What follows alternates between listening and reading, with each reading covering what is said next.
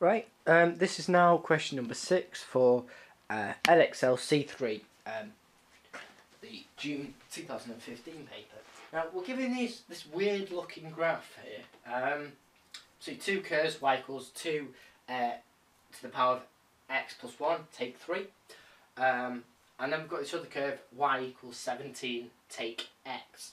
Now, the first question um, asks us to uh, get x in the form, so x equals uh, the ln of 20 take x over the ln of 2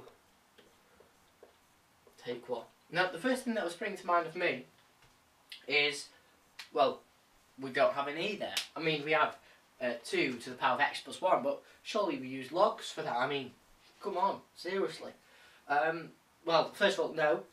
Uh, and yes, because we use ln's when we've got a base e, but because they're the natural log of x, they're still a logarithm, so we can still use them in the same vein. However, when we do use them, obviously it's going to give us a bit of a different outcome, like it's not going to get rid of a 2, for example. Right, so obviously, without looking at the next question, this is obviously going to be some iteration formula. So this first part is just getting you to build it up, so you can still do part B, um, even if you don't get this bit. Okay, so the first thing I would do is obviously write down your two equations. So y equals 2x to the power of x, sorry, 2 to the power of x plus 1, take 3. Um, and y equals 17, take x. Now, a key thing I would do is look, okay, well we need to look at what we're trying to get and what we've currently got. So what we're trying to get is this. It's x equals the ln of 20 take x over the ln of 2 take 1. Now, thing that was back at me is we don't have a 20 there. So obviously, we're going to have to make them equal to each other. So if we do that, 2 to the power of x plus 1, take 3, equals 17 take x. Okay, so we need a 20, so 2x plus 1 equals uh, 20 take x. Okay, looking right so far. So ln both sides. Now, got to be careful, we don't get rid of the 2. Now, if you look at the, what we're trying to get, we've got ln, it's divided by 2 and take 1. We've got a power of x plus 1 here. So when we move this plus 1 onto the right hand side, obviously, we're going to be taking away. So, I mean, you can always work backwards from this. And I'll show you how we've done it when we've done this. So when you ln this, um, because it's a log and this is a power, the logs in powers, they become in front of it and they times it. So the ln of 2 to the power of x plus 1. That's the same as ln of 2 times x plus 1. Okay? And that's equal to the ln of 20 take x. Okay? Now, as x plus 1 is times the ln of 2, we're going to divide by ln 2 because we're trying to get this kind of thing over here. Right, so x plus 1 equals the ln of 20 take x over the ln of 2. Now, it doesn't want x plus 1, it wants x. So what we do is move this plus 1 onto the right hand side and there we are in required form. Now we just want to show you, if, if you didn't see that, there's a way to work backwards. Okay, so let's start from the end here. So x equals ln of 20 take x over the ln of 2 take 1. So the first thing I would do is add the 1. So x plus 1 equals the ln of 20 take x over the ln of 2. Okay, times both sides by the ln of 2, so x plus 1, e sorry, plus 1, times the ln of 2 equals the ln of 20 take x. Now, using your log rules, you should know that's a power. So therefore, the ln of 2 to the power of x plus 1 equals 20 take x. Sorry, the ln of 20 take x. E both sides, it gets rid of the ln. So 2 to the power of x plus 1 equals 20 take x. Okay, and then you can rearrange that to get what you started with. So even if you didn't see this, you can still work backwards logically. Um, but hopefully you would have seen that. The only thing that I think might trip you up is this this little section here where, you ln'd it and you, you came up with a with a multiple sort of thing. But as I said, you could always work backwards from it. Um, it's quite hard to miss out that stage if you did it both ways. Um, but if you just got to there and left it and lost the marks, well, they both squat unfortunately. um, you know, that's the end for you. But anyway, uh, uh, dwelling on that uh, point there. So, okay, so that's just proving it. As I say, hopefully you've got that.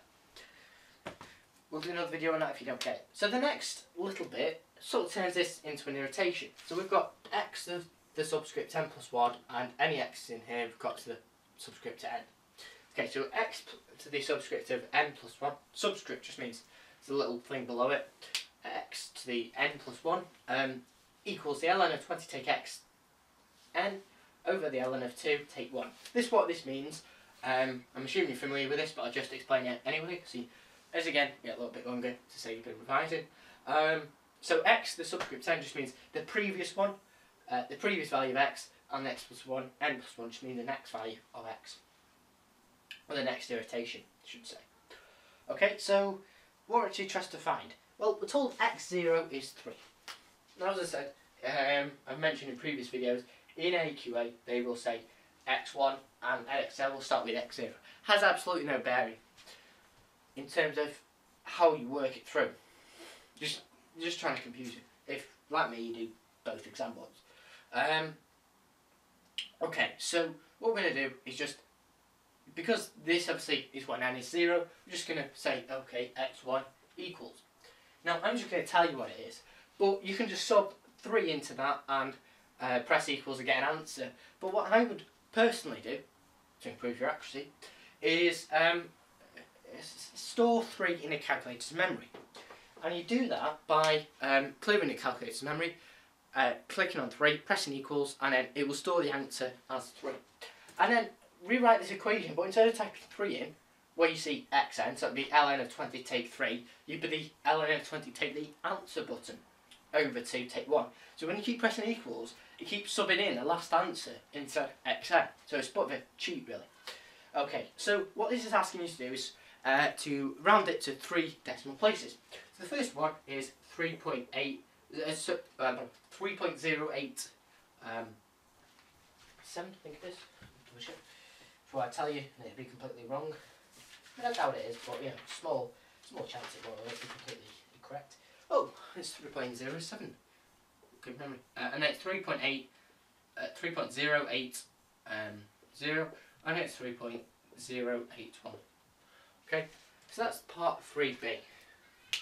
Now this part 3c, so I was going on in a previous video and I was saying Edexcel is turning into OCR and AQA. Now, the actual question says, um, using your answer to part B, which is a bit of a hint that we've been doing some iterations, um, deduce the coordinates of point A, giving your answer to one decimal place. So we've not only got, we've got to somehow find this point A. Now point A, by the way, is where they intersect. That's these are the x coordinates. This irritate. What we've done here is rearranged to get x because y equals y. So the y coordinates at this point are the same.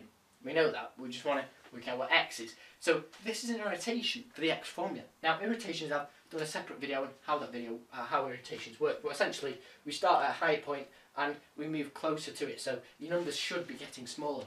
The key thing with this is people forget to take the 1. So it should be around 3.01. 3.1. This A, as I said, by the intersect. Um, okay, so we've got to find the coordinate point A. Now, we you need to use this information to work out what x is. Now, if you keep pressing equals, all you keep rounding to is 3.1. You might get 3.081234 and 3.0812367, but essentially it'd be 3.1 uh, always when you put it in that iteration.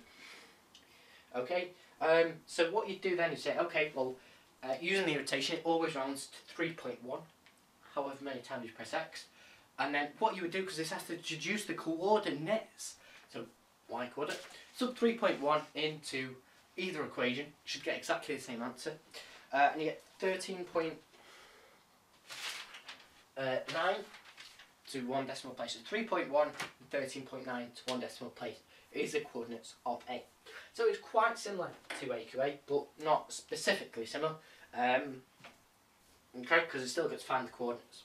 But it's not typical Edexcel, uh, where you're 3.1, you know, do 3.095, 3.115 or whatever.